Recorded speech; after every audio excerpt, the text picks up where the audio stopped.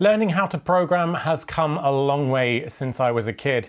In fact, just under 30 years ago, I was learning BASIC on this very Amstrad, in fact, with such classics as 10, print hello, 20, go to 10. But nowadays, kids have a lot more options open to them, and learning how to program has never been more fun. The Robo Wunderkind kits aim to teach the fundamentals of programming without actually touching any code, and they throw in a bit of cool robotics to the mix. Let's take a closer look at what's in the kit. So this generation of the Robo Wunderkind kits are available now. However, the company is currently kickstarting the next generation of the kits. So if this review does pique your interest, I would strongly suggest that you check out the link in the description to the Kickstarter and consider backing their new project, which brings a range of new features, new control blocks, and an entirely new app. So there's actually two different Robo Wunderkind kits available. There's the starter kit and the educational pack, which we have here. The starter pack is 180 while the educational one retails for around 250 euros.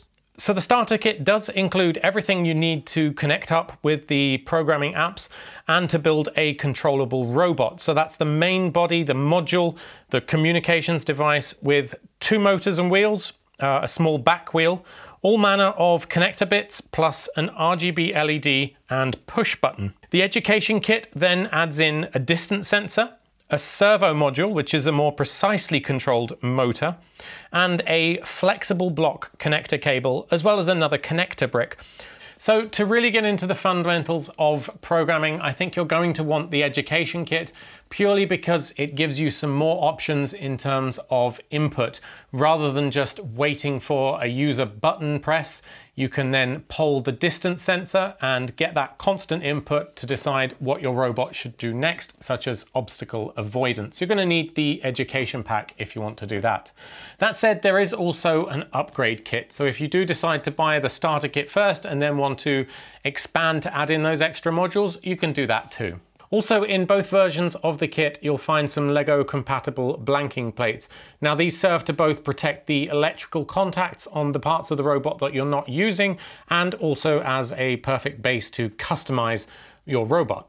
So one quirk I'll mention now is that although we had the education kit to review, which includes the servo module, neither of the apps that you can download actually have any designs for a robot that makes use of that servo module. So it does kind of seem to be a bit useless at first.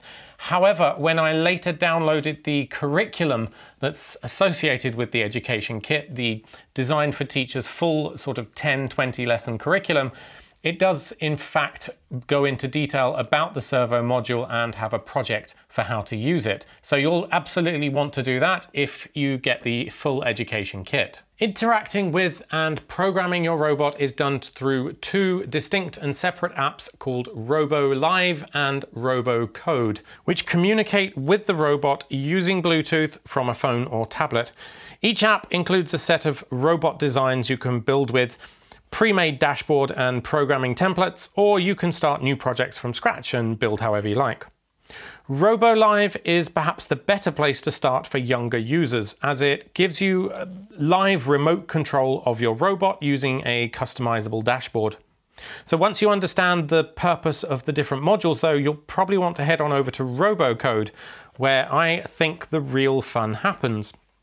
Robocode has five included robot designs from a flashlight to an obstacle avoiding robot.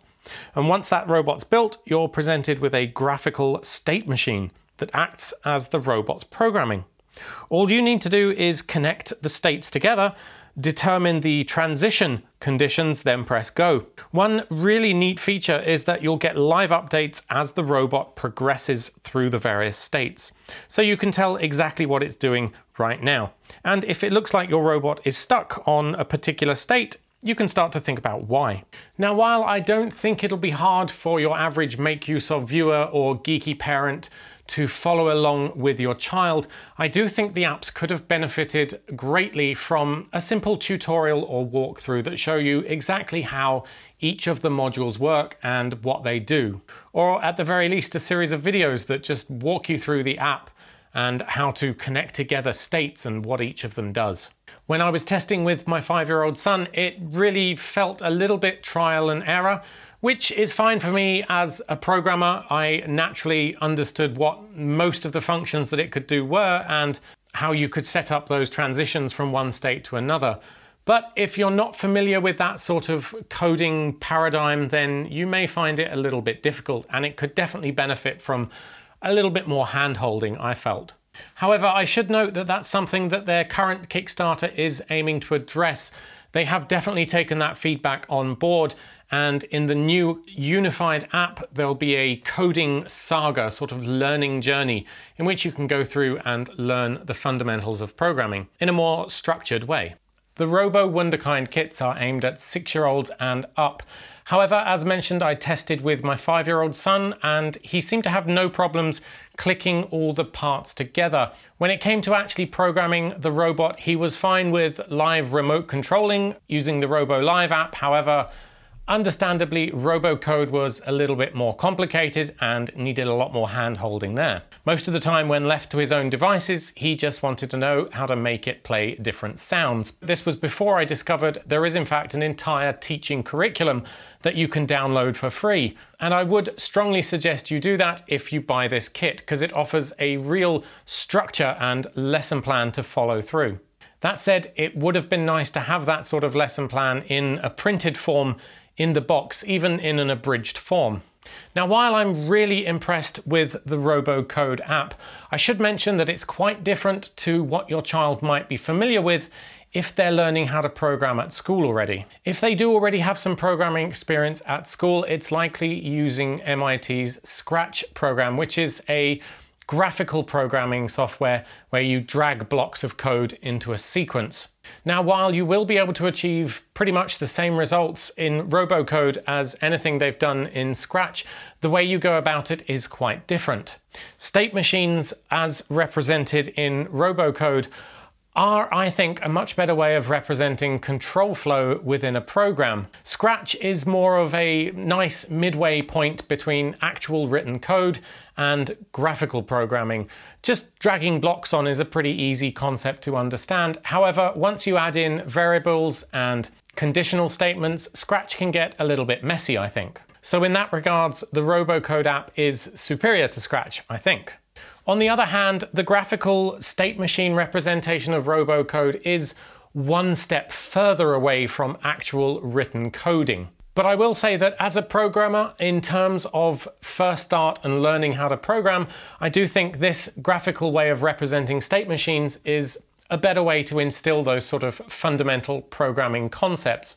The actual written code can always come later. In fact, if you have done a computer science degree or are thinking about it, then you will at some point learn state machines, probably in your first year of study. So is the Robo Wunderkind kit and RoboCode app the perfect introduction to programming for six-year-olds and up? Yes, I think it is. The robot designs are really easy for even six-year-olds to snap together simply, and it's all customizable with Lego. However, this first generation Robo Wunderkind kit is not perfect. There are some issues with the disparate apps, and I would strongly suggest that you download that curriculum and spend some time going through it if you're considering buying this kit. Alternatively, do consider backing their new Kickstarter project. They do seem to have taken a lot of the feedback on board about their first generation kit and made some upgrades as well as some smaller design upgrades to the basic components. They've also added some new hardware pieces like an LED matrix, motion sensor, and line following sensor. And they're developing a new single app called the Robo Universe, which brings together the disparate RoboCode and Robo Live apps, as well as adds in new coding possibilities with Robo Blockly, which is a Scratch-like block programming app for when you're ready to step up to the next level with your coding. On top of that, they're developing an Arduino and Python API for real coding. Then there's the Robo Coding Saga, which will be the new learning journey for the kit. So that will be very welcome.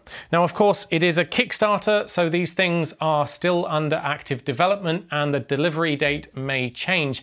However, I am confident that since they already have a product out, this new Kickstarter will actually be delivered. There's not too much of a risk in backing it. The new full kit can be yours with a lot more components and modules for $250, or they also have, again, a smaller starter kit. Anyway, thanks for watching this video. I hope it has helped you to make your mind up about the Robo Wunderkind robotics kits and possibly to back their new Kickstarter. If you did like this video, please hit the thumbs up button. We would really appreciate that. And do consider subscribing for more weekly tech reviews, gadget giveaways, tutorials, and more from all of us at makeuseof.com.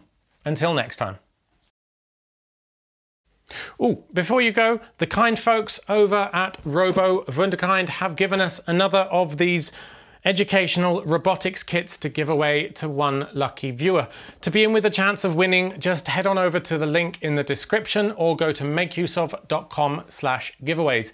At the end of the full written review, you'll find a competition widget. Just pop your details in there to be in with a chance of winning. And when it asks you for a video bonus code, type RoboCoder, all one word, to get some bonus entries. Competition closes in about four weeks and the winner will be notified by email. So please add competitions at makeuseof.com to your address book to make sure our email doesn't go into spam. Thanks for watching, good luck, and we'll see you next time.